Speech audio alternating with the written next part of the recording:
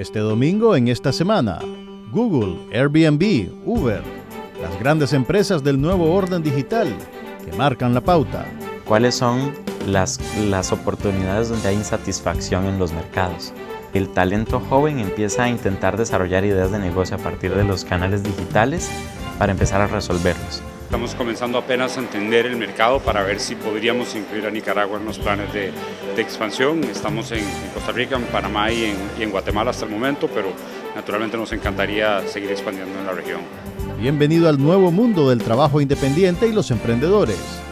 Conozca los nuevos desafíos que enfrentan los jóvenes.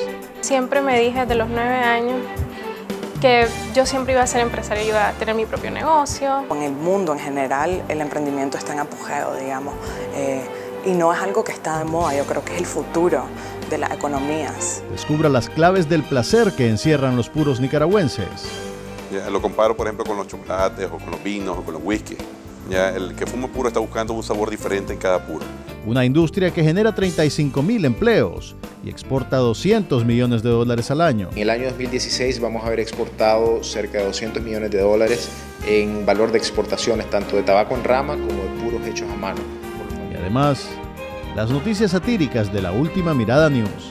Acompáñenos el domingo a las 8 de la noche por Canal 12.